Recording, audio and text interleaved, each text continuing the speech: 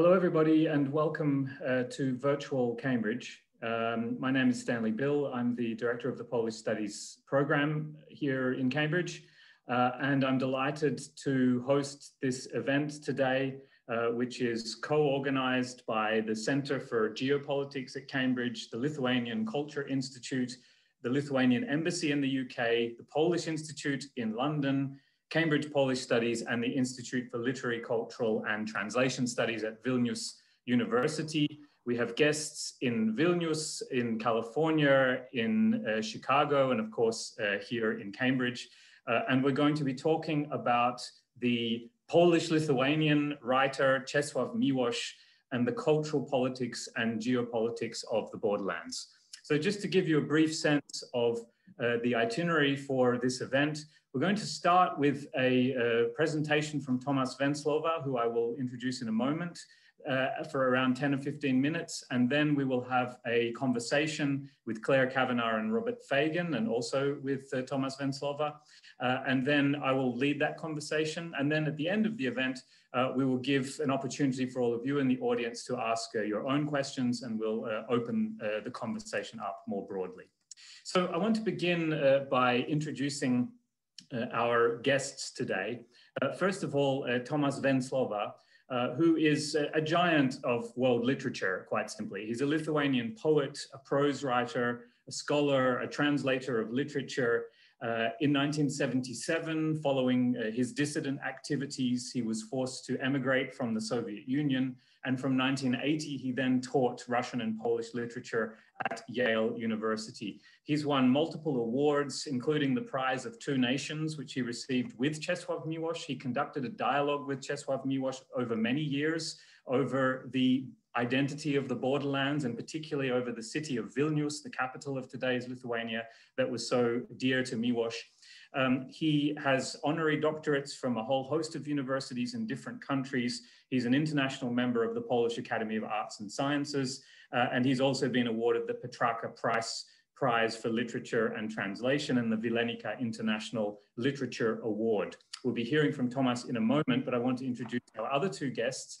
Uh, Clare Cavanagh is joining us from uh, Chicago or Evanston in the United States. She is the Frances Hooper Professor of Arts and Humanities and Professor of Slavic Literatures and Comparative Literary Studies at Northwestern University. Uh, her book, Lyric Poetry and Modern Politics, Russia, Poland, and the West, uh, received the National Book Critics Circles Award in Criticism for 2010. She has also received wide recognition, including the 2018 American Academy of Arts and Letters Award in Literature for her many volumes of translations of Polish poetry, including notably the work of Nobel Prize winner Wisława Szymborska, Adam Zagajewski, and Ryszard Krynicki. Um, she is now working on an authorized biography of Czesław Miłosz, uh, which is under contract with Farrar, Straus and Giroux. Uh, our final guest is Robert Faggen, who is uh, a Barton Evans and H. Andrea Neves Professor of Literature at Claremont McKenna College in California. In 2009, he helped to found a nonprofit uh, Czesław Miłosz Institute and Archive there, uh, encouraging and benefiting the study of Miłosz and Polish culture. Uh, he has won uh, a range of prestigious awards, including the 2011 Guggenheim Fellowship. He has been a Graves Fellow of the National Endowment for Humanities. He's a contributing editor of the Paris Review, has published articles in the Los Angeles Times Book Review and various other outlets. He has composed critically acclaimed editions also of works by Czesław Miłosz and Robert Frost. So thank you very much to the three guests uh, for joining us today. And without further ado, I'd like to introduce the first speaker of today, Thomas Venclova from Lithuania, from Vilnius University. Uh, welcome to Virtual Cambridge, Thomas. Thank you. After Czesław Miłosz's death, there appeared those, not numerous but noticeable, who started referring to him as a poet, not sufficiently Catholic and not enough Polish. Today, these detractors are even more numerous. There wasn't this one accusation that was repeated more often than others. Czesław Miłosz was not at all Polish. He was a Lithuanian. In the old days, it was the name for the people of the Grand Duchy of Lithuania. And now it is the name for ethnic Lithuanians and citizens of Lithuanian Republic. That is to say, Miłosz by definition could not have contributed to the formation of Polish culture, but on the contrary, contaminated it with inimical elements. He came from a place which had been related to Poland for several hundred years, but never belonged to it. He was from Lithuania, a country which in the Middle Ages was an independent, half pagan, half Christian empire, and which later on shared the fate of Poland. Lithuania regained independence in the 20th century, at the same time as Poland, although Lithuania was um, part of the Soviet Union and Poland was not, but it's um, it would be sense, uh, just senseless to say that it was independent uh, for 50 years. Mm. So we regained our independence at the same time as Poland and twice like Poland in 1918 and then in 1990. The independence of the 20th century turned out to be very different from the old one. It was based on the ethnographic and linguistic factors, which meant that instead of being a powerful medieval state, there appeared a small, albeit ambitious Baltic Republic, like Latvia and Estonia, and in some sense, uh, like Finland. Its capital was Vilnius, or Vilno, or Vilna, or Vilne, a beautiful city, which used to be the center of the empire in the Middle Ages, but had mainly spoken Polish for several centuries. And for this reason was annexed to Poland. This resulted in a prolonged and harsh conflict that for many years looked as irresolvable as that over Jerusalem between the Palestinians and the Israelis. Czesław Milosz was above all a poet of Vilnius, which he called a city with no name. This is the title of one of his books, uh, of many names to be precise since it is uh, called differently in Polish, in Lithuanian, in Russian, and in Yiddish. And besides, in the debates over, over, over Vilnius, uh, Milosz took a special position, which caused many Polish expatriates to automatically brand Milosz suspicious. Nor was it always been clear to Lithuanians who, who this strange Vilnius author really was.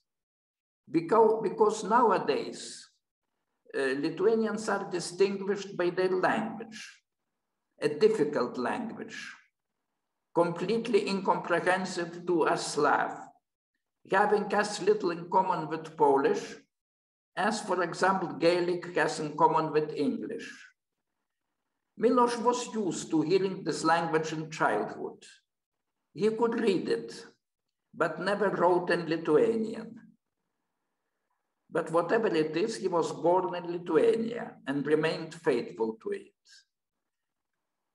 For a Polish poet, this was nothing extraordinary.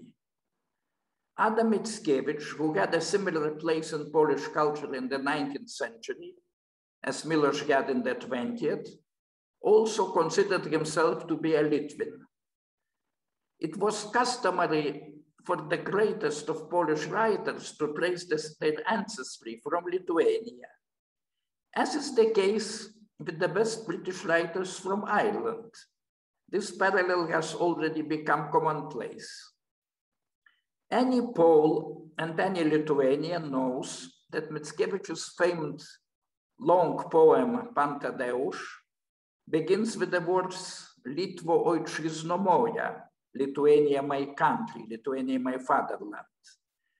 However, such, such a beginning is all the more paradoxical because the Lithuania of Mickiewicz's Pan Tadeusz is today's Belarus, and not Lithuania sensu stricto.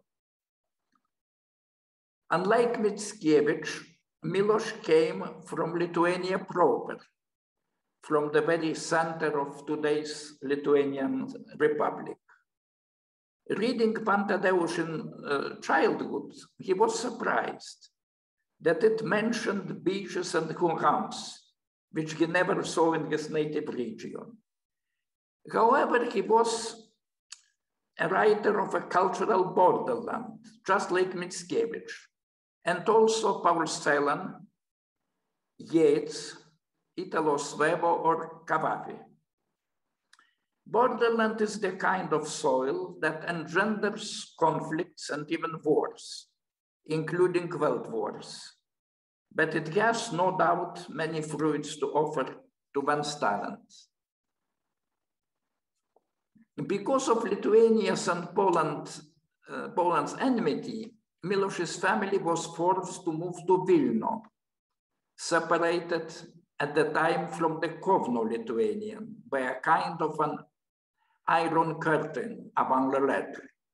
The temporary headquarters of Lithuanian government was in Kaunas or Kovno, the second largest city of the region. The splendid Baroque capital of the former Lithuanian Empire influenced the development of the poet perhaps to an even greater extent than his native countryside. It kept memory of the theological debates of the 17th century, of the debates between Romanticism and Enlightenment. Here, languages, customs, and eras intersected. In addition to Polish, there were also Lithuanian, Belarusian, Russian, and Jewish communities. As Milosz admitted in his poetry, he never managed to walk away from Vilna. Uh, quote, it is a magic, magic city, unquote. He said to his doctor during one of the, of the last weeks of his life. As early as during his years at the gymnasium, he understood the incredible heterogeneity of the, of the city. In one of his later essays, he recalls the strange surnames of his school friends, Alhimovich, Blinstrup, Bobkis, Dapkus, Mirza Murzic, Chebiogli. These, as a rule, were not Polish surnames. They were Belarusian, Lithuanian, quite often Tatar, sometimes German and even Danish. Not Jewish, because Jews usually went to their own schools. The gymnasium was named after Sigismund Augustus, the king of the 16th century, who was a Lithuanian by birth, but no longer knew the language of his ancestors. Nearby, there was another gymnasium named after Vytautas the Great.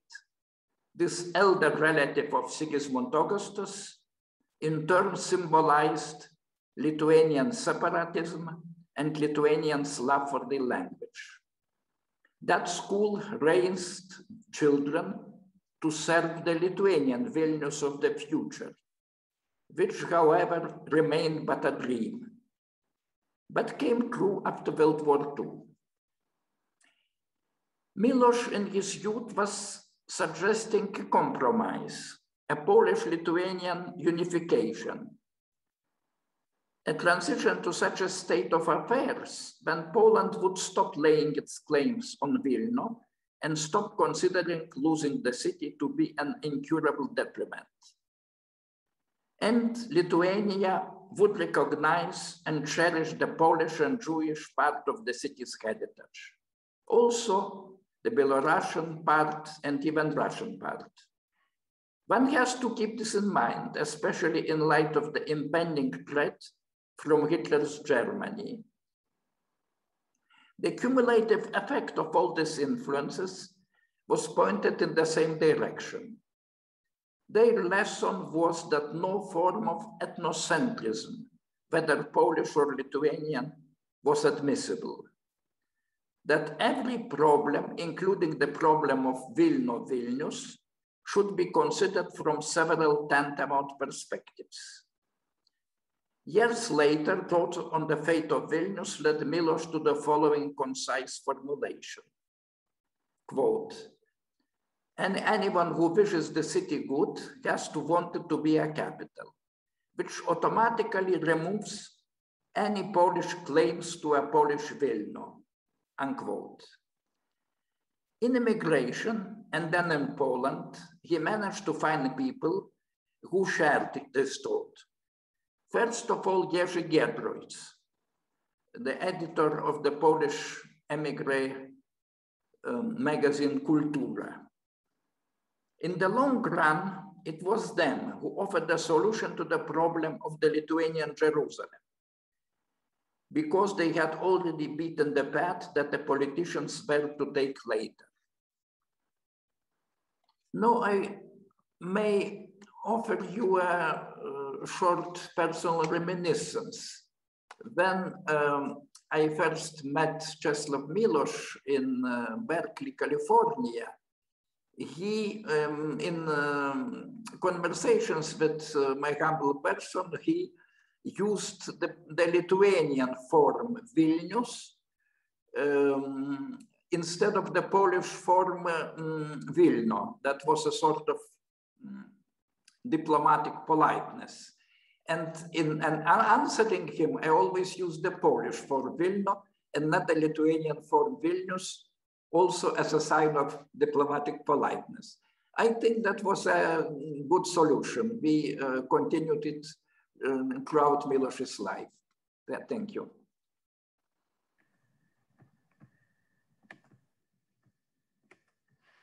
Thank you very much for that fascinating uh, introduction to the subject, which I think uh, gives us an insight into this Polish-Lithuanian dialogue, to your personal dialogue with Czesław Miłosz, but also this key historical uh, background that may not be entirely familiar uh, to all of our listeners. So I want to uh, open the conversation up now uh, and start with Clare Cavanagh. Um, and Clare, if Miłosz was a geopolitical thinker, and we're being asked to talk a little bit about geopolitics here, where the center for geopolitics, uh, then his ideas were shaped by his own tumultuous experience of the history of his region, partly by his encounters with Marxism at, at an important point in his life, uh, but also by a deep Polish tradition of historical fatalism with respect to Poland's location on an indefensible plane between uh, the great powers of Germany and Russia. Miłosz himself witnessed events of the Russian Revolution, the Polish-Lithuanian War, the German occupation of Poland, the Soviet takeover of Lithuania, the Holocaust, the beginning of the total destruction of Warsaw, and the post-war imposition of a communist government uh, with which he later cooperated before eventually defecting in France. So how does Miłosz engage in his writing with the fundamental confrontation between what he characterizes as a merciless historical necessity, that's the term that he uses, uh, of these geopolitical processes in his region and the fragile human individual? It's a huge question. And first of all, I just want to thank Thomas Venclova for th that beautiful, that kind of gem of an introduction to, to Miłosz as a Lithuanian. And that's going to inform my answer, which has shifted while I was listening. Um, I think Miłosz is, is a geopolitical thinker by way of poetry. Uh, to abstract his ideas from the poetry um, is exactly what he resented in being held captive, in a sense, by the captive mind, which was his first book in English and his most famous for many decades. Um, he is uh, a geopolitical thinker through, by way, inflected by Lithuania, I think. You talked about a Polish sense of historical necessity he had a critical distance on every single identity he partly inhabited. And I think it's one thing he felt at home with later in the United States is the idea of the hyphenate identity. You know, I'm an Irish American, you know, that, that everybody has these multiple inflected identities and that these identities are necessary for negotiating a time of globalizing theories, which is what he experienced in both Lithuania and in his childhood. Um, as you mentioned, um, he came into contact with Russia and the revolution very early on. His father was a civil engineer in the Russian Empire because Lithuania was, as Thomas said, part of the Russian Empire at the time. Um, and they got trapped in Russia in the process of becoming Soviet Russia. And his claim was that he learned Russian from revolutionary soldiers who were, I think, in the same rooming house as his family at the time. So he was brought into physical contact with these, these conflicts before he could intellectually possibly have processed them. He was a what seven at the time, um, and lived with those conflicts all the way through. His father was trapped on one side. Thomas mentioned that that after the quote unquote liberation of Poland and Lithuania at the end of the First World War, um, boundaries were still in dispute constantly throughout that period. And what your country was, uh, um, one of the things I, I use to explain the Polish and the Lithuanian situation to my students as I say there are countries where you can go into exile by staying at home. And that is precisely the situation in, in that part of the world, in the borderlands. Uh, his father was stranded on one side of this iron curtain that Thomas mentioned, um, while he and his family were on the other side, and you had to cross illegally, even in the period of free, liberated, quote unquote, newly independent Poland and Lithuania. So he was raised on all of these conflicts. And what I think is crucial here is he comes of age um, as a, both a poet and a young man in Vilnius at a time when the threats on both sides are absolutely clear and they are totalizing ideologies of very different kinds. One is sort of the fetishization of nation in a, a mythologized version of nation and race, Nazi Germany. And Miłosz was very aware of threads in specifically Polish thought that fed into that and that are still visible, unfortunately, in contemporary Poland, of a fetishization of Polishness. Um, and then on the other hand, he felt both the attraction of and the danger of the totalizing ideology of communism, which says that the end, the global end of the world lies in um, class. So you have these two ultimately, as he presents the mythic visions, totalizing visions, what happens to the particular when you get caught in that world? Well, what I want to give as one example, as a way maybe to launch into that, is a famous poem from 1980, shortly before he received the Nobel Prize. He revisits Paris. Um, I'm going to echo again something uh, Thomas said is something I said he thought uh, something he he writes several times that I thought was quite beautiful is that he went into exile the minute he left Vilnius that even going to Warsaw was a form of exile for him. So he's never quite in any single one identity. But this poem, uh, translated in English as bypassing or mistranslating, bypassing Rue Descartes. The Polish is Rue Descartes.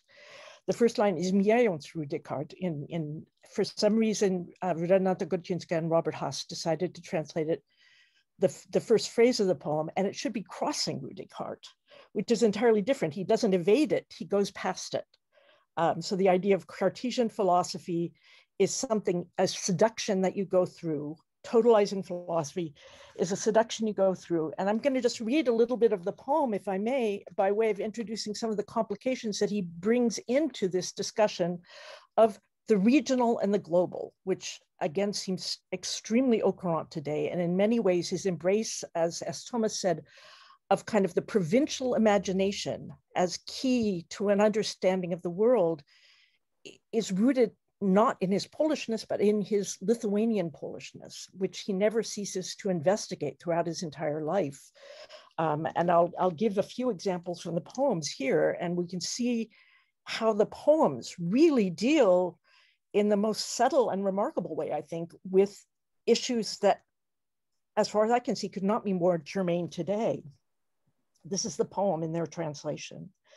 Bypassing Rue Descartes, I descended toward the Seine, shy, a traveler. This refers to his own periods in Paris as a young man, a young barbarian. He's on the outside, just come to the capital of the world. And he writes about this in other places of the world, that, that he was looking for the center. part of his search is a center, a core ideology. It explains part of his attraction to communism that explains the world. We were many from Jassy and Koloshvar, Vilno and Bucharest, Saigon and Marrakesh. You'll notice there the, the geopolitical spread of colonies, some of which were colonies of, of France.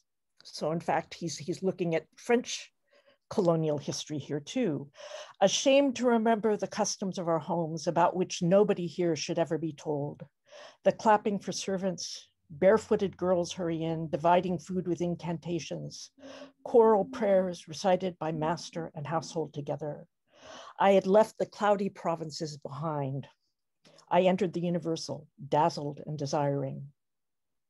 And here's a key passage once we start looking at uh, communist colonization of various nations, which doesn't enter often enough into the modern dialogue. The second world ceased to exist. We have the first and the third, and somehow academia forgot to count correctly. So uh, colonization entering in here and the decline of colonization. Soon enough, many from Jassy and Koloshvar or Saigon or Marrakesh would be killed because they wanted to abolish the customs of their homes. One reference here, obviously, is to communist ideology in, in Asia as well as Europe. Um, that did, diminishes heritage and tradition that, that Miłosz. Soon enough, their peers were seizing power in order to kill in the name of the universal beautiful ideas. Meanwhile, the city behaved in accordance with its nature. And what we'll see here is that Paris, as he sees it in 1980, is a bunch of little provinces. There is no big Paris, there are neighborhoods. Um, Meanwhile, the city behaved in accordance with its nature, rustling with throaty laughter in the dark, baking long breads and pouring wine into clay pitchers, buying lemons, fish, lemons, and garlic at street markets, indifferent as it was to honor and shame and greatness and glory. Because that had already been done and it that had been done already and had transformed itself into monuments representing nobody knows whom so the Parisians are oblivious to the grand monuments to, you know, freedom, equality, whatever, all of this, into arias hardly audible and into turns of speech. Um, again, I lean on the rough granite of the embankment as if I had returned from travels through the underworlds and suddenly saw in the light the reeling wheel of the seasons where empires have fallen and those once living are now dead. There is no capital of the world, neither here nor anywhere else and the abolished customs are restored to their small fame. And now I know that the time of human generations is not like the time of earth.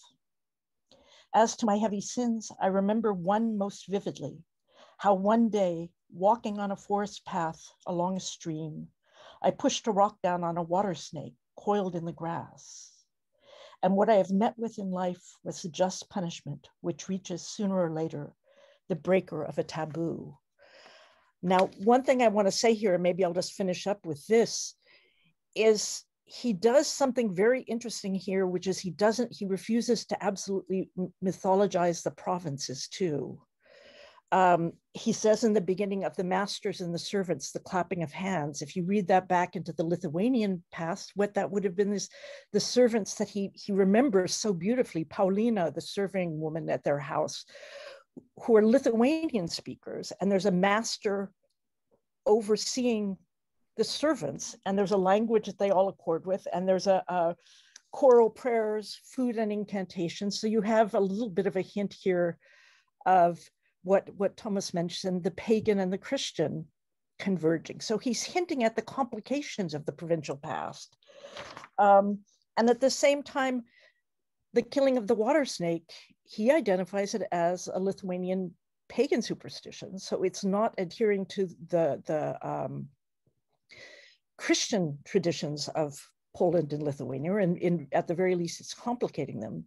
But the original sin is that you leave the province. And how do you ever know what the province was only by having left it? So it's got kind of the uh, Christian teleology going in here too, but it deals with the idea of universal and province, but the province is a complicated place with its own forms. It's implied or suggested of colonization. Um, and that kind of negotiation between Poles as conquerors, Poles as colonizers, It's one of the reasons that, as Thomas said, uh, his Lithuanianness was so much held against him. I talked about this once in Krakow a number of years ago, and not one of the people in the audience, but one of the the women doing the work in the hall, you know, doing all the logistical stuff, came up to me afterwards and said, "Why didn't he just go back to Lithuania?" Please. Um, but the, why he he's such anathema to the Poles is because he's saying your own heritage. It, you talk about historical determinism. Well, you fought to maintain your own colonies, or to maintain, you know, your own um, subordinates.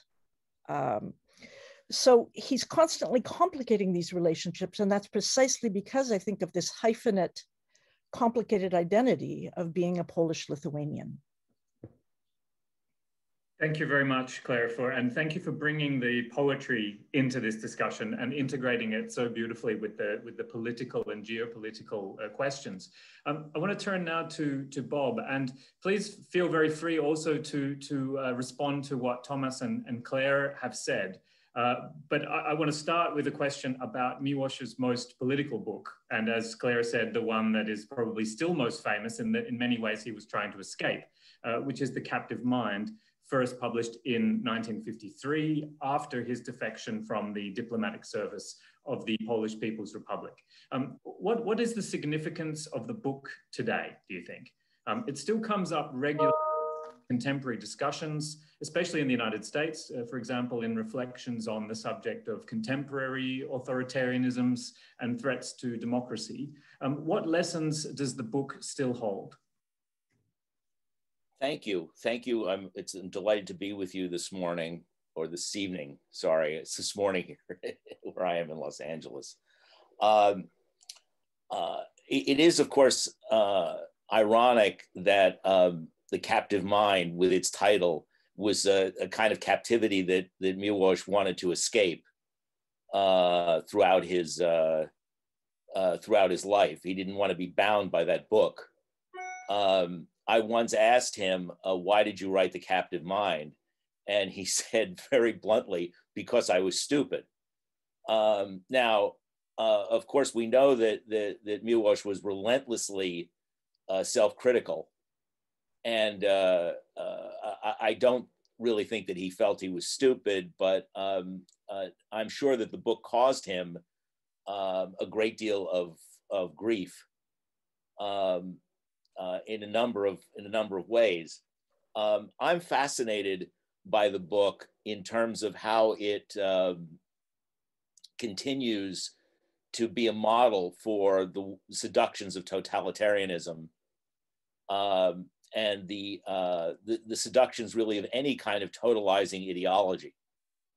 Uh, and and I think that that is the um, the lasting uh, impact of the book is not only um, in its historical setting as a as a critique of um, uh, those who would uh, follow what he can call the method or uh, dialectical materialism um, and communism, uh, but uh, uh, really the formation of of any kind of ideology that, that, that takes over one's essential being.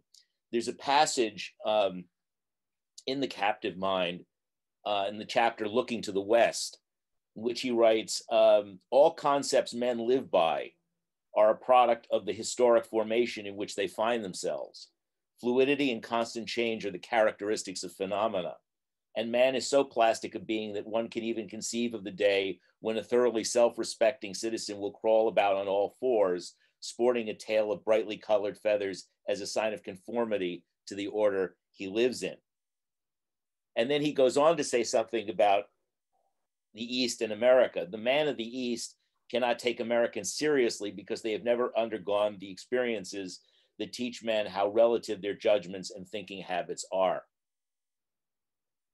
So, from a very early age, um, I think Miłosz, Miłosz was acutely aware of um, the uh, relativity of his own world perspective and his judgments. And that, that certainly was uh, a result of his growing up uh, as he did in this borderland, um, and also uh, going through um, uh, many conflicts that uh, impinged upon uh, a sense of not only national identity, but also of worldview. Uh, Miłosz had a, a, a magical sense of the natural world at a very early age that was in many ways um, corrupted or um, uh, disturbed by um, uh, both uh, uh his studies in uh, theology and also his studies early on in science. Uh, that, that is, he becomes a kind of exile from the, the, the, world of, of, magical presence, an important word for him.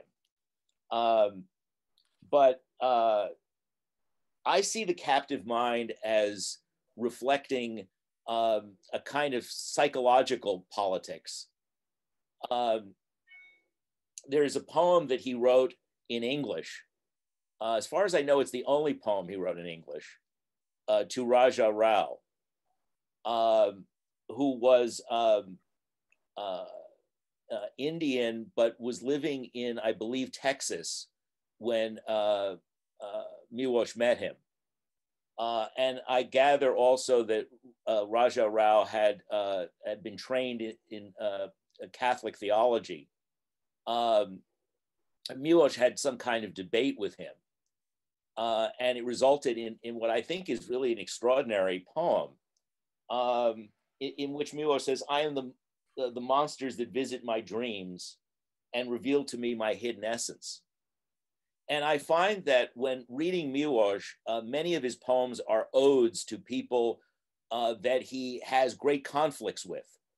So, for example, uh, the, the heart of the captive mind are, are these portraits of people with whom he uh, has, uh, uh, you know, I think more than just a simple critical relationship, a very ambivalent relationship.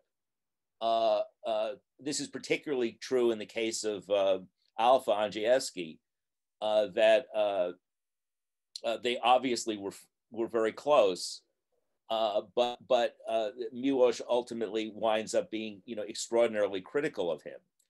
this is the these people people that he encounters in different cultures become the, the kind of monsters of his dreams that he, through his poetry he is um, uh, trying to uh, against whom and in dialogue with he's trying to define his own essence and um, i think it's uh, very interesting to me that uh, one of the words that, that Miłosz uses frequently in relation to this is schizophrenia. It's a word he uses in uh, the poem to Raja Rao he talks about being on the border of not even in, in a schizophrenic state, in the border of schizophrenia.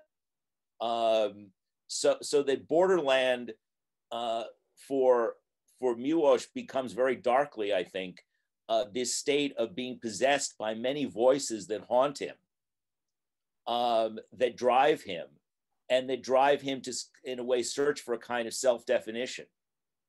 Uh, and in in in um, in the case of the United States, the case of America, one of the the uh, famous poetic portraits this in, in this mode uh, is is uh, to Robinson Jeffers.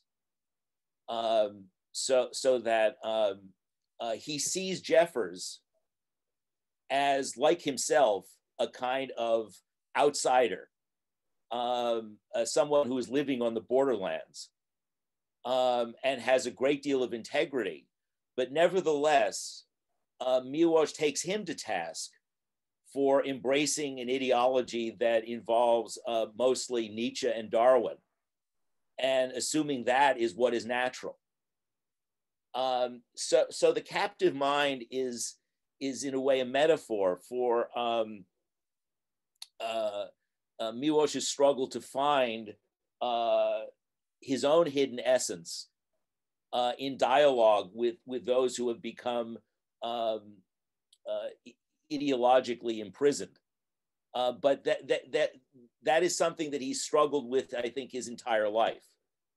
Um, and, and, in that sense, uh, the the idea of the fall is so important to him because I think that there is a a um, a notion of of being in a state of belief and innocence in a particular way of looking at the world that one is in it uh, is constantly either being uh, dispossessed of or forced out of. Um, and and then one tries to live with holding both worlds in in one's consciousness the world of of innocence and belief and the world of skepticism and doubt. Uh, and uh, you know obviously uh, was very attracted his messianic longings left him very attracted to the same kind of forces that um, he describes affecting the uh, figures in the captive mind but that ultimately um, he keeps trying to transcend uh, uh, uh, those, those, those forces. Um, so I, I, just wanted to say that by way of, of uh, uh, extending um, uh, the discussion. I, I, think also, if you look at his, his wonderful poem, Ars Poetica, um, he he, he reminds us that that the the self is open, uh, that that the border of the self is not closed, that that the self is porous, and, and he sees this as um, a, a, crucial factor in in in his own consciousness, uh, that that sense of an open border uh, of of the self that it, that is um, uh, hopeful that uh, uh, good spirits will will inhabit it rather than than, than evil ones. Um, what, one other little anecdote. Um, I, think I asked him once, uh, do, do you speak or, or Lithuanian? And, and Thomas could inform me more of this. He said no, but he said Lithuanian is what they will be speaking in heaven. Um, so I, I, think he had that very strong sense of uh, Lithuania as a as as a as a um, uh, you know a primordial landscape of uh, uh of of embodied beauty uh, that, uh, that that that that he was constantly trying to reach back to in in all of his continual falls into exile. Thank you very much, Bob, and, and thanks for reminding us of uh, Miłosz's point in that poem that the individual self is as heterogeneous as the Polish-Lithuanian borderland. Um, yes. I want to return uh, uh, to Thomas um, with uh, a question also starting with the captive mind. I mean, the final chapter of the captive mind is entitled The Lesson of the Baltics. Um, and it describes the takeover of Lithuania, Latvia, and Estonia by the Soviet Union as an example of the wider fate of small nations in what Miłosz then understands as this inexorable march of, uh, of an imperial history. He even compares the fate of the Baltics with that of the native inhabitants of South America in the 16th century. Um, today's Baltic states remain wary of Russia and Russian power. Uh, so, for instance, recently rejecting, along with Poland, um, the Merkel Macron plan to hold talks with Vladimir Putin. Um, how do Lithuanians then approach the ongoing challenges to their security as a small nation, now in the European Union and NATO, but still located next to a Russian state that annexed territory from Ukrainian neighbors only seven years ago? Um, what is the lesson of the Baltics today?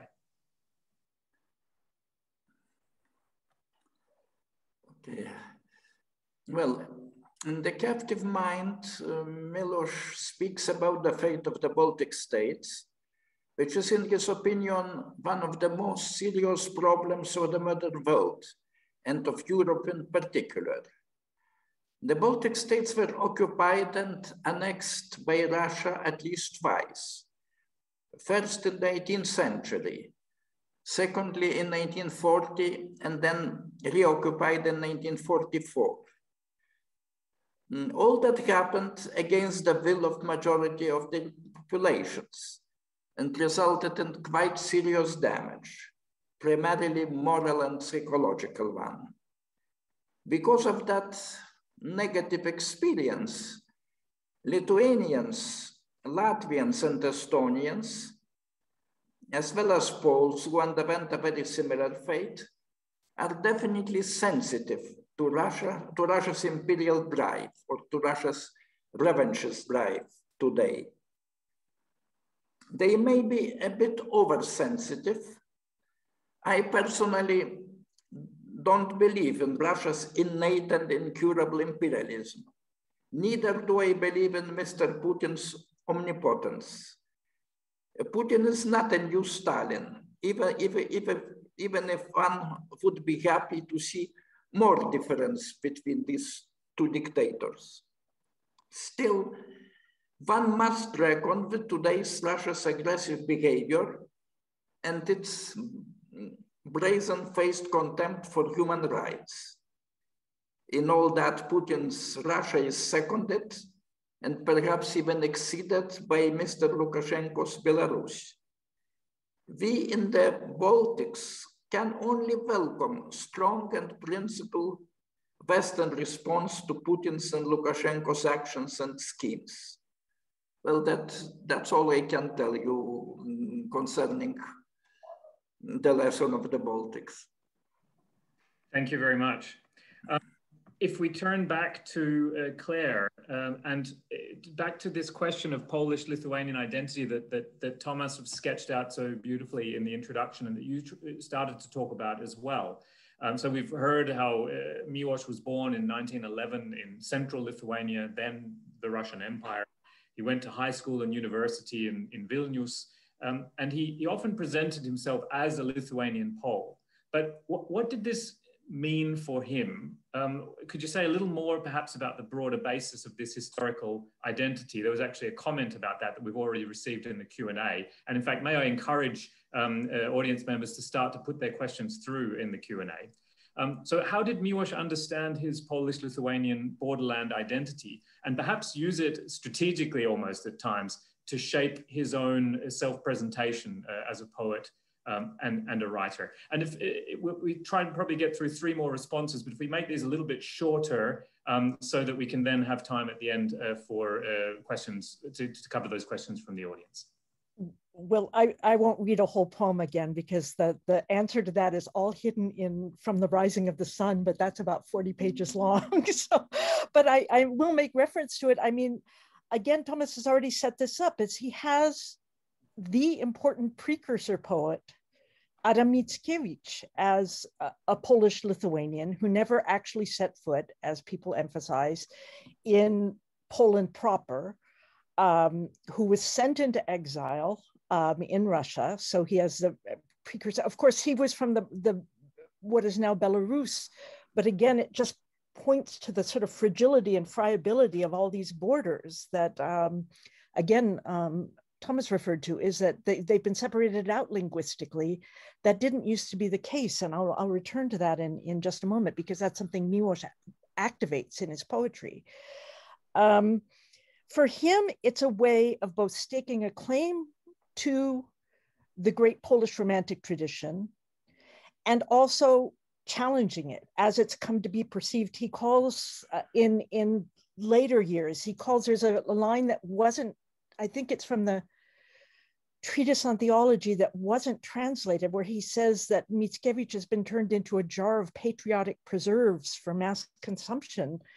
Um, and what happens, yeah, I don't know why they cut that from the translation. It's such a good line, but um, the Lithuanianness has been edited out in the way that, as I always use to, to illustrate it with my undergraduates who have no idea what any of these places are, um, they read Sienkiewicz's The Lighthouse Keeper, in which he receives his emergency care package of Polish Romantic poetry when he's in danger of becoming happy elsewhere. And he doesn't need to read Pan Tadeusz. He just opens it at random and the whoosh of Polishness just engulfs him. So the, it's as if the first passage were written out. But what Mickiewicz does, and that Miłosz, I think, continues and expands, is to say that Polish identity is composite. It's heterogeneous, to, to use what, what um, Bob was talking about. Um, and he even talks about something that gets reactivated again in Miłosz about architecture he has a beautiful description of the way that Jewish architecture is part now of the Lithuanian landscape. There's a character named Buchmann who's a good Pole, even though his last name is German. And to, in my reading, the, the Jewish character, Yankel, is the romantic hero. He's the one who synthesizes all different bits of identity while remaining himself and does the great improvisation of Polish history at the end. He's the great improviser in the, in the poem. So he's creating a synthetic vision and Miłosz wants his idea of going to the past, which I really value, is that you approach it through philology. And what philology always tells you is that identity is impure and composite. And then he does this more extensively than Mickiewicz ever does. Um, and I, I asked him about this. one. Um, but that because what he does, and it's particularly visible in From the Rising of the Sun, is give place names in multiple languages the way Thomas did where the places he's born, it's in from the rising of the sun, but not only, of course, um, that the places he was born have multiple names. His family has multiple names. If you go back and scratch the 16th century, I believe he said he found these documents in the library at Berkeley. He has extensive commentary and he gives sort of etymol etymological and historical usage of various place names. Um, creating this complicated vision of Polish, even linguistically. Uh, the one document where it's a heritage document, the inheritance, is got Latin, it's got East Slavic.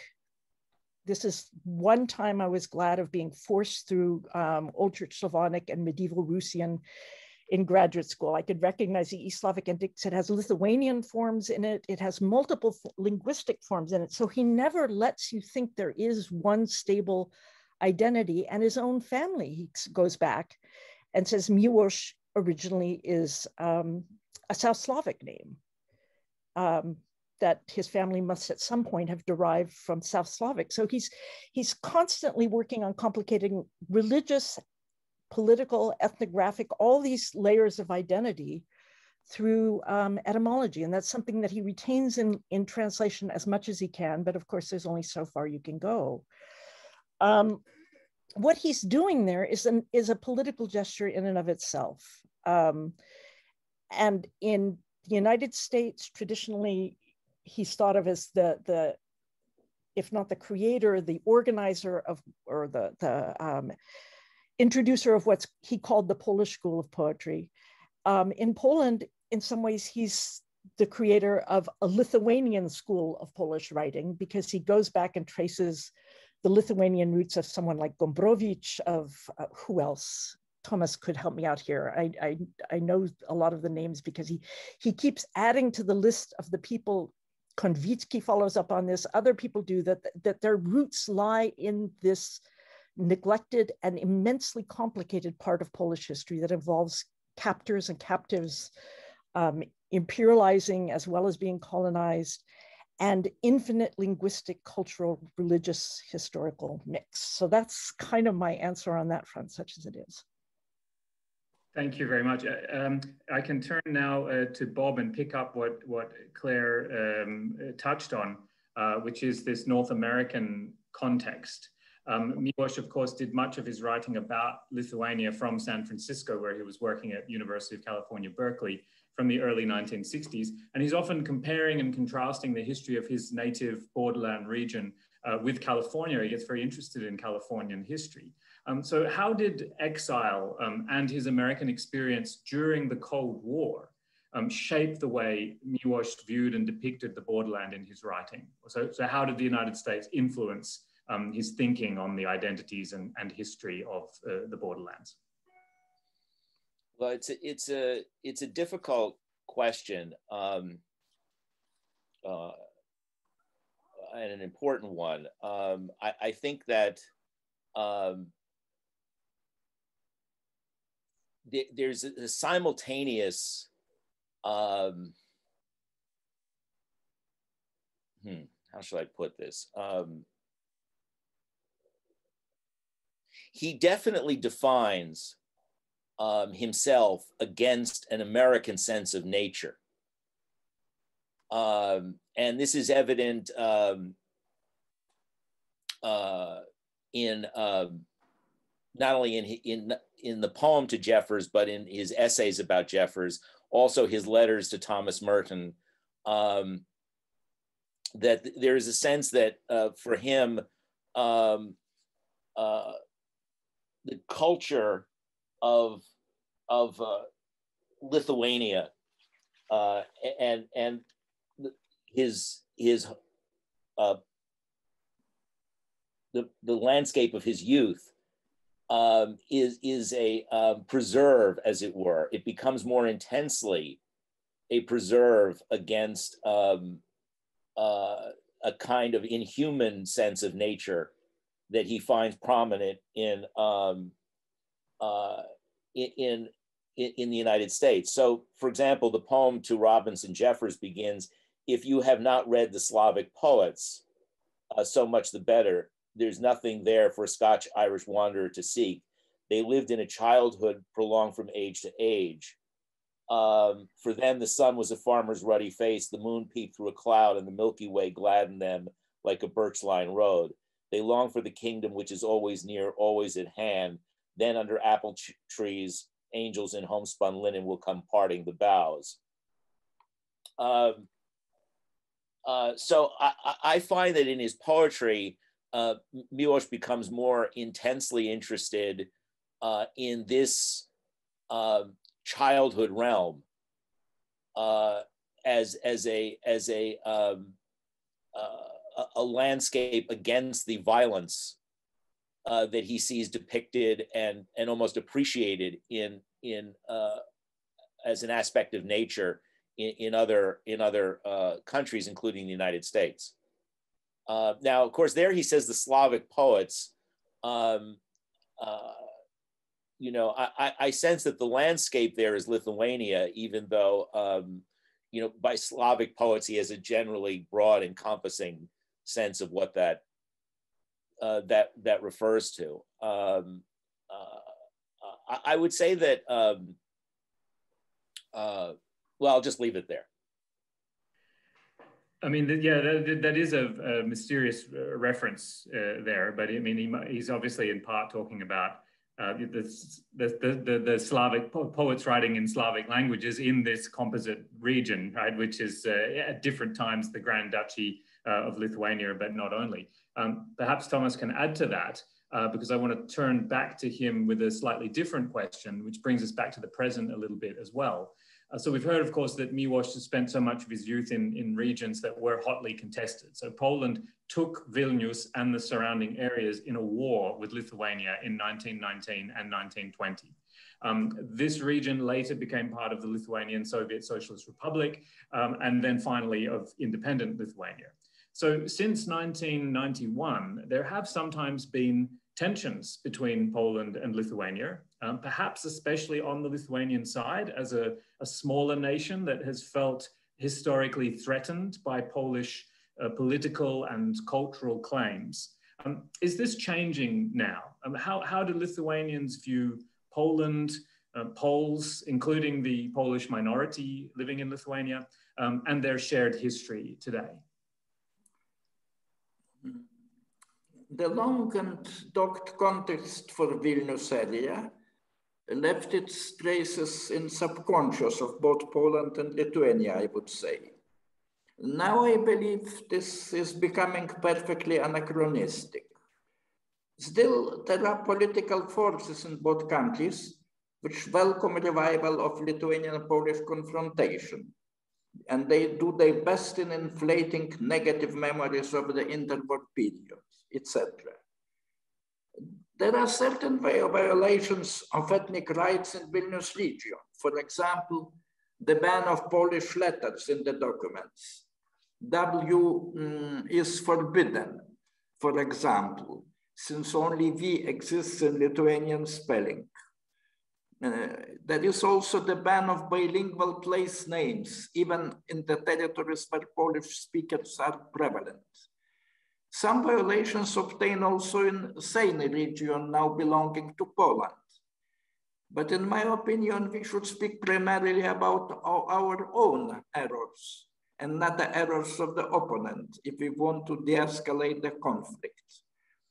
This feeling of the continuing Polish threat is patently absurd, helpful only to Mr. Putin and his geopolitical advisors. Thank heavens, it seems to become marginal. Miłosz has contributed much to the changing of the Lithuanian attitude, and I think he still contributes to it. Thank you very much. Um, it's uh, an issue that in, in Poland has become uh, in some ways less salient politically. We hear less tension about Lithuania uh, than about Ukraine, for instance, uh, from, from nationalist voices uh, in Poland. The main issue of contention is often the question of the uh, Polish minority um, in Lithuania. Uh, but there, there seems to be a, a kind of increasing interest in the shared history of the Polish-Lithuanian Commonwealth, for example, and, and the Grand Duchy of Lithuania um, which is a uh, perhaps an encouraging sign for relations between the two countries. So I want to turn over, we have a little bit of time left. We've still got plenty of attendees in presence uh, who are present um, uh, to uh, questions uh, from the audience. Um, and the first one, perhaps I could direct to Clare. Um, and this is from an, an audience member who's, who asks, um, is it not a big geopolitical problem for the individual to come from one country and feel allegiance to it, but write in another language, um, since so much of our thought is formed by our language. So I suppose it's a question about the, the, the, sort of tensions inherent in that in that Lithuanian identity, and the fact that you know he didn't really speak the language, and there's a and there's a um, uh, there's a degree to which there's a limit to how far he can extend the notion of his Lithuanian identity that, that's something perhaps Clare could start on, and then perhaps Thomas, you could uh, jump in because you obviously had these conversations um, uh, at, at, length uh, with with Miłosz. Well, it's something that that Miłosz himself addresses at multiple points. Is what does it mean to be a Lithuanian poet writing in Polish, as he sometimes defined himself? Um, and Thomas brought up an analogy that me I, I think it's in one of the conversations with Thomas and Miłosz about the the Anglo-Irish tradition of writing. What does it mean for Yeats to be an Irish poet, a Protestant Irish poet from the old English ascendancy um, in Ireland, writing in English, celebrating the creation of a new Ireland. He was part of the, the Young Ireland movement in the 1890s, which parallels in some ways with the Polska. Um, and it's a, it's a struggle that Yeats never completely is at rest with. And then on the other hand, if you take someone like Seamus Heaney, who was um, Northern Irish, left for Southern Ireland, which was perceived as a betrayal by many people for the Republic of Ireland, wrote in English, but with a decided Irish accent that sometimes you can't even tell what the rhyme word is because you don't know how to pronounce the Gaelic place name. You know, you, you, you have to figure out the rhyme from the English. Um, I think one thing is that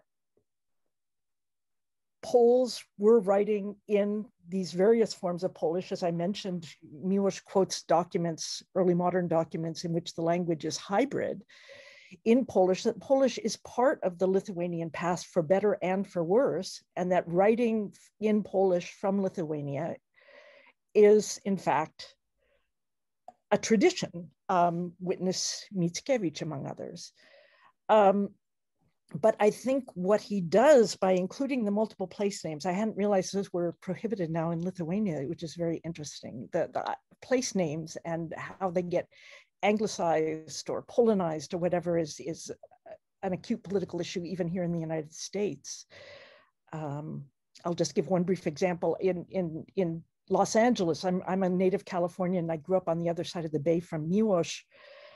Um, but in Los Angeles now, what used to be Los Feliz is now Los Feliz. I think they've changed the pronunciation. They're trying to make it respect uh, uh, adhere to Spanish pronunciation rather than all these anglicized versions.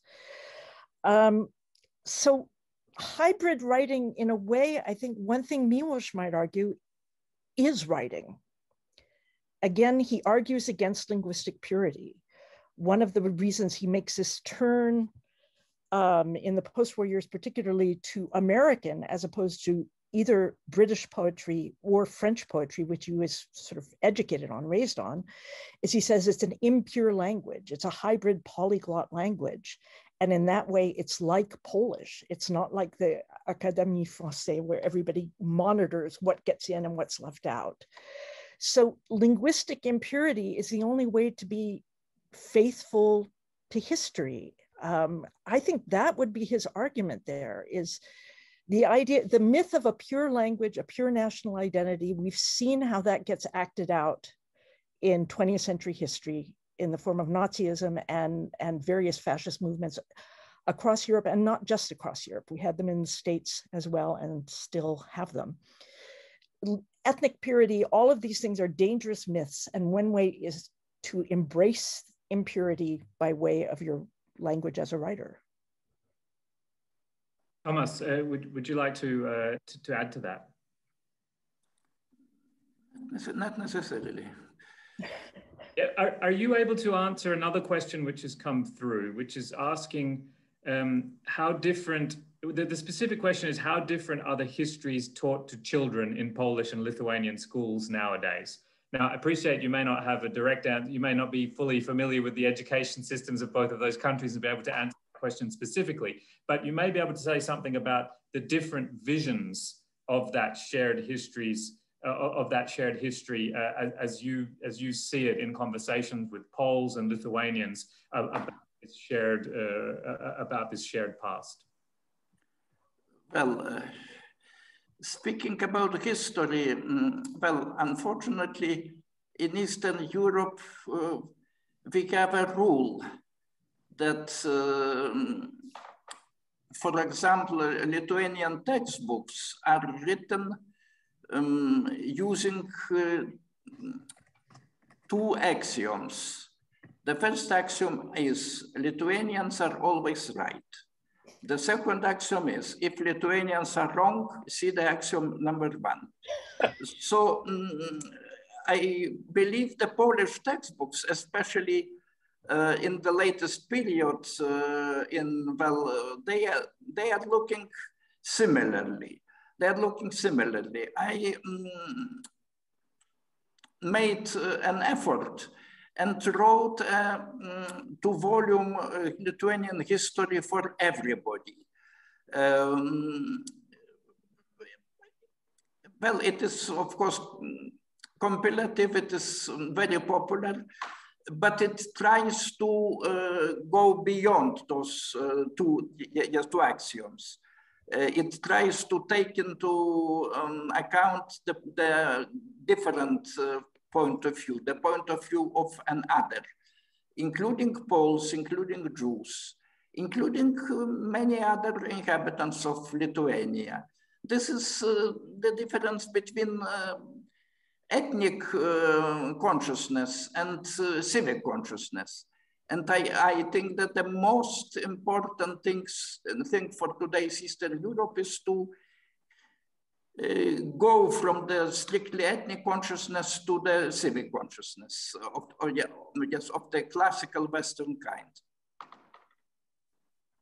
Thank you very much. And there's some sense of trying to draw on the shared heritage of the Polish-Lithuanian Commonwealth and the, the, the, civic traditions, civic traditions that were limited to a small proportion of the population, i.e. the, the gentry, um, the so-called szlachta in Polish, um, that, that, that the democratic, sort of nascent or proto-democratic traditions for that, at least that group that existed in that polity. And therefore, I think it's interesting to add a comment that one of our audience members has uh, added people here, um, uh, has added here, which is to say that uh, just today, uh, the ministers of foreign affairs of Poland, Lithuania, and Ukraine uh, signed a joint declaration in Vilnius uh, referring to and embracing the Polish-Lithuanian Commonwealth traditions, this, this composite state um, that existed formally from 1569 until it was finally partitioned in 1795. Um, and also importantly, referring to Belarus um, as a part of this uh, tradition. Uh, so, uh, and then this is an interesting question of the debates within Belarus as well, um, of, of how to view uh, that, that past. Um, and which uh, historical um, uh, traditions to attach importance to uh, as a polity. Um, there is a, a question, I, well, I'm waiting for a question here from one contributor who's ready to say something. Um, in the meantime, uh, Bob, can I, can I ask you to come in? Are there any of these issues that you would like to, uh, to jump in on, to, to, to, to, add, it, to add here? Um, there's another question here, um, which is about Miłosz being born out of the Polish Romantic tradition, uh, but opposing the simplified nationalistic twisting of it. Perhaps you could say something about how Miłosz reacted to the kinds of ethnic nationalisms that Thomas uh, was, was uh, just referring to? Hmm. Well, I mean, I, I think Miłosz had an extraordinary allergy to ethnic nationalisms. And um, uh, uh, you know, as far as, as romanticism goes, uh, embodied or, or, embraced many different traditions, uh, romantic traditions, and maybe Clare could speak a little more to this. Um, uh, is very indebted to Whitman. Um, and, uh, you know, Whitman is, of course, a, a poet of, uh, uh of, of many voices. Uh, he, he contains, as he says, I contain multitudes. Um, and, and I think Miłosz was uh, uh, inspired by that uh, early, early on, that, that notion of containing multitudes. I think it suited his, his temperament and his experience. Um, so, so that, um, uh, you know, Whitman has a way of being a, a, a national poet while also being um, uh, encompassing and, and, and, in, and, and also a kind of mythic individual as well. Um, so I just, just that. Clare, would you like to add something there on that nationalism question? Thanks, Bob. I just, I'm, I'm following up on what Bob said. I think, I think what you said um, is exactly right. And it also, it, it points to the way, I mean, Whitman's influence in late 19th century, 20th century European and not just South American. I don't even know where else. I, uh, you know, ubiquitous, enormous influence is how do you make the provincial, which the US was at the time, global? And one of the ways that, that Whitman does it, that I was just thinking about as he talked, is he incorporates all the languages of which that place is made and all the slang and regionalisms and dialect. You know, he has these gorgeous long lists of place names. And I, this is just an aside kind of, but it's one thing Miłosz taught me as a native Californian and a product, you know, God help me, of Californian public schools, but also religious education all the way through. Miłosz taught me to re-see Californian history. Um, precisely as instead of it being, you know, the, the um, air-conditioned nightmare or whatever, a bunch of provincialisms and regionalisms and languages that lie buried just beneath the surface and that he's looking for. Again, it's in from the rising of the sun that he he traces back the etymology of the Rogue River, which I knew from camping when I was a kid in Oregon, and what would have been the native name for it, how it got the name Rogue River from the French, the way a plant name is named the Alpine Shooting Star, you know, what the hell is that? Because there are no Alps, it's Oregon. Uh, what would its name have been in the original language? And even gets Lithuanian into the mix, um, talking about um, green rue. He segues into it and says, what would it have been in the native? So all this stuff I never thought of that was just, you know, it's normal. Everything has a Spanish name. Why? Because we got California and that's the way it should be. They just left over a bunch of names, you know. But making you go further and dig deep into your own place and recognize the layers of history, the layers of past, and the layers of conquest, repression, and lost languages, you know. So that's something I think where Whitman was a gift that paid off in a lot of different ways for, for Miłosz. Yes. I agree. There's an important comment here that's come in on uh, Lithuania uh, from uh, Edward Lucas, who's very well connected with the Baltic region and, and with Lithuania in particular. And he says Lithuania played a big role in supporting the rebirth of uh, Belarusian um, national identity. Um, and, and, of course, that is a national identity. That's an idea of national identity that is in some way attached to the, the Grand Duchy uh, of Lithuania, uh, which, which, is the, which occupies the territory or occupied the territory of today's modern Lithuania and Belarus. And it was this composite Lithuanian Slavic uh, entity uh, in a very, very uh, complicated history. Um, and in fact, sometimes there has been a, a, kind of tension on, on who is the owner of that legacy, Lithuanians or Belarusians uh, as well. But the Lithuanians are certainly strongly supporting the, um, uh, and probably the most vocal and visible supporters of the Belarusian uh, opposition movement uh, at the moment. Um, Edward then also says that the, on the Polish-Lithuanian question or the question of tensions, that this discussion is a bit out of date now and that things were generally tricky five to 10 years ago, uh, sometimes because of clashes between particular ministers, but this is more or less over now. Um, I can add to that that I had a discussion with a Polish uh, diplomat only a couple of weeks ago who, who was speaking with great optimism um, about uh, Polish-Lithuanian relations and a kind of new new opening in those relations, with just those few controversial issues that Clare mentioned, for instance, about the uh, the writing, uh, the spelling of names, the spell, spelling of Polish name, whether members of the Polish minority have the right to spell their names in the Polish way or whether they must do so in the Lithuanian way. Um, so just relatively small issue, issues and there's a general sense of confidence about the way those relations are uh, moving. Um, so uh, that's an important uh, point to make that some, but he says sometimes in the Lithuanian worldview, Polonization appears as almost as big a curse historically as Russification.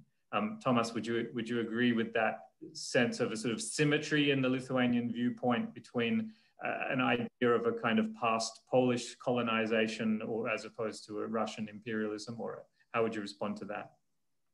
No, this is this is very different. Um, well, uh, to go back to the Grand Duchy of Lithuania, um, well, there was the pagan core around Vilnius, which conquered um, East Slavic lands, which were already Christian, which were all, already Christian and more advanced, which uh, made, which um, later became um, today's Belarus and today's Ukraine. I um, remember I asked one of the Belarusian activists, uh, which part of the country, of, of the um, Grand Duchy's culture, um, according to you, is Belarusian? He said 100%. Okay, um, said I. How about the Lithuanian part? He said all, also about 100%. so it is uh, completely indivisible. So it is completely, completely indivisible. indivisible. It, mm, the culture of the Grand Duchy um, developed in Slavic language, in, in uh, Slavic language, in East Slavic language, and uh, somewhat naturally it came to Polish. Uh, Russian influence was different because of the very different religious and historical tradition of Russia. And it, yes, it was much more um, um, how to say it, well, much less natural, I would say. And it was unsuccessful. Uh, Lithuania was never really Russified, but uh, it was Polonized to a degree. And the um, fruit of that Polonization is Miłosz himself. He wrote in Polish. He wrote in Polish. That the, well, the same situation as with Yeats or, or Joyce uh, or Seamus Heaney for that matter. They wrote in English, uh, being just being uh, Irish um, writers.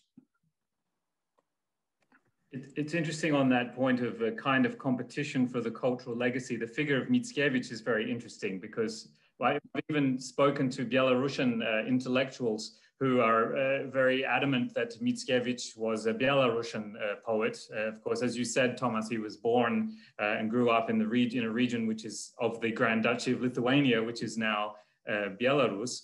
Um, and uh, of course, there are Lithuanian claims to Mickiewicz or, or Mickevičius in the Lithuanian form as a Lithuanian poet. Uh, so this kind of uh, uh, cultural uh, competition for aspects of the of the legacy of this region. Um, Clare, you look like you want to jump in on this point. Oh, this is just very brief and anecdotal. When I was in Vilnius um, in 2011 for the, the centenary of, of birth, um, and it was my first time there, and I, I was told in advance, don't use Russian, don't use Polish, stick with English. That's, that's the safest way. So I asked the hotel clerk in English if there was a walking tour of places associated with Mickiewicz. And in English, he kept not understanding me. And then he said, and Thomas, forgive me if I say it wrong. He said, "Oh, you mean Adamas Mickiewicz?" You know, until I got into Lithuanian, he would not tell me where to go. So it, it even the hotel clerks know.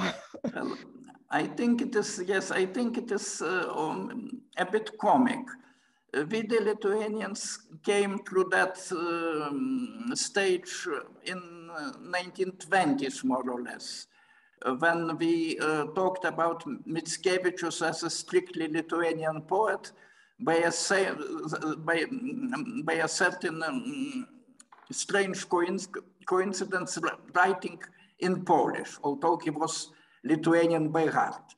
So um, now Belarusians are, are going through the same um, stage. They, they are in the process of obtaining their cultural identity and they are overstating their case.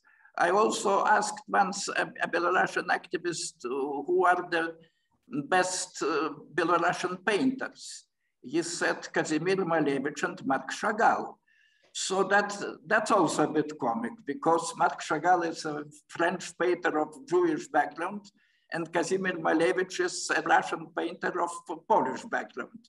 But they, they happen to live in Belarus, in, yes, in Belarus, in, in Belarus.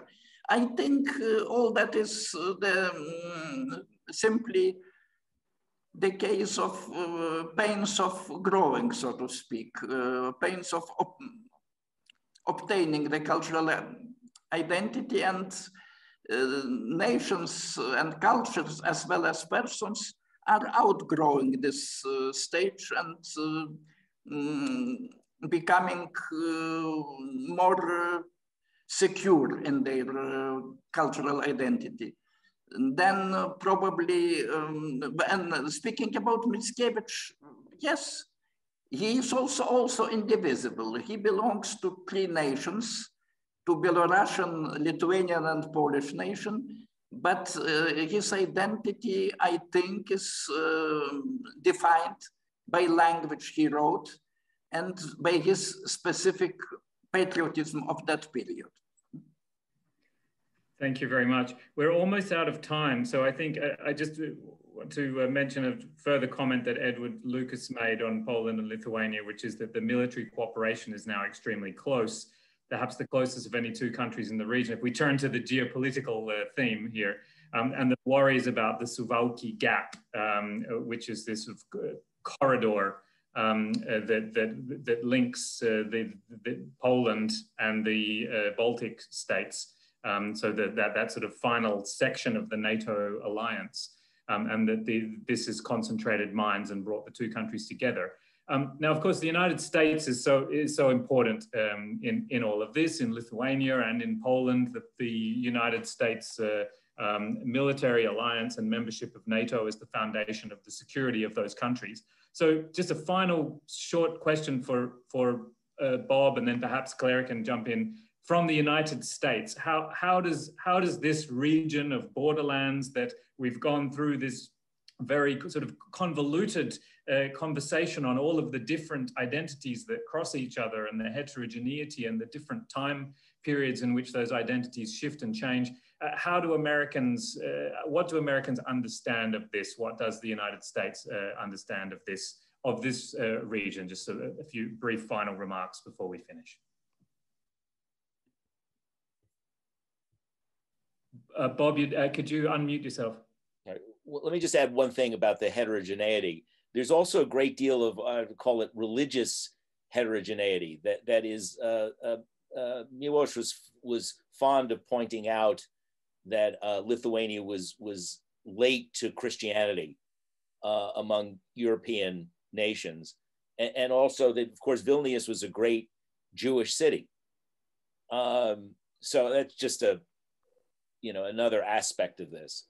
Um, As Miłosz frequently emphasized. Uh, yes, yes. Um, but I think that, um, uh, you know, I, I don't think I, I, I know what America thinks about this this region. I, I, I think America it tends to be rather provincial in thinking about this region, and and usually just sees things as as as being about Russia, um, uh, and and whatever can can be uh, that is Americans tend to be very ignorant of this this past, um, but. Uh, uh you know what what as far as a national policy goes i don't think i i, I would know what to say except that it, it's uh, fortunes are usually bound up by uh, what americans uh, um, certainly the american government thinks about what russia's doing thank you um, clare uh,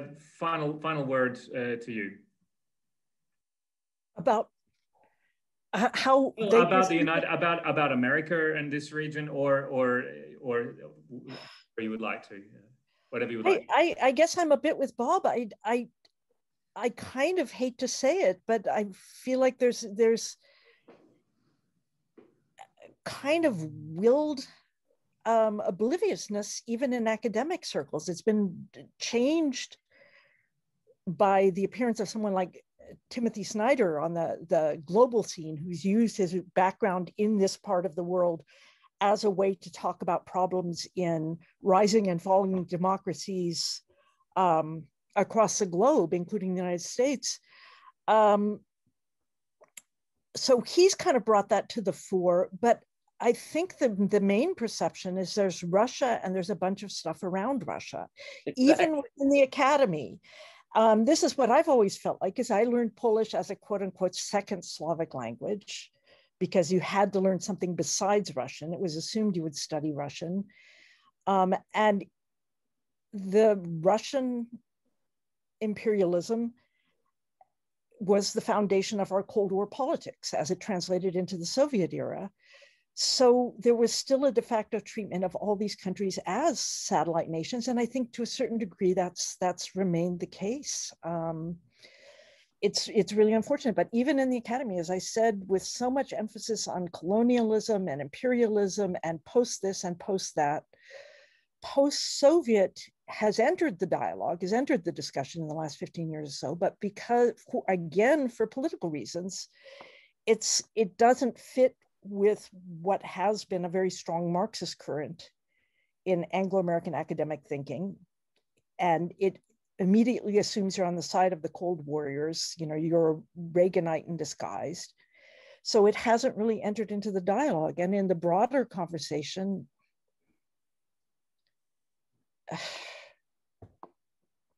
I don't think America does very well by geopolitics, particularly with smaller nations. We're a nation that, that as Miłosz would have noticed, swallowed up hundreds of hundreds of other little nations and tribes and colonies in the process of creating the inevitability as we see it, that is the United States, and you don't pay attention.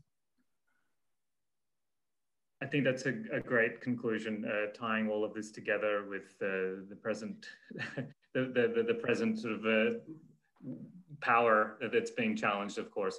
Um, so I want to thank all of the guests who have uh, given us their perspectives so eloquently, um, tying together poetry, geopolitics, history. Um, Thomas Venclova, Clare Cavanagh, and Robert Faggen. Uh, I'm sure that there's virtual applause echoing across, or there is real applause echoing, I hope, across uh, rooms in the various places where our audience is present. And I want to really thank our audience members. We had a great turnout. So we, had, we had around 75 uh, members of the audience and we're still up around 50 um, an hour and a half later. Um, so it's fantastic to, to have uh, so many of you uh, join us for these events, for this event. Uh, and finally, to thank um, the, the co-organizers, uh, the Center for Geopolitics at Cambridge, the Lithuanian Cultural Institute, the Lithuanian Embassy in the UK, and the Polish Institute in London, as well as the Institute for Literary, Cultural and Translation Studies at Vilnius University. Thank you very much to all of you, and I wish you a very good evening, and to Bob, a very good day. And thank you, Stan. Thank you, Stan.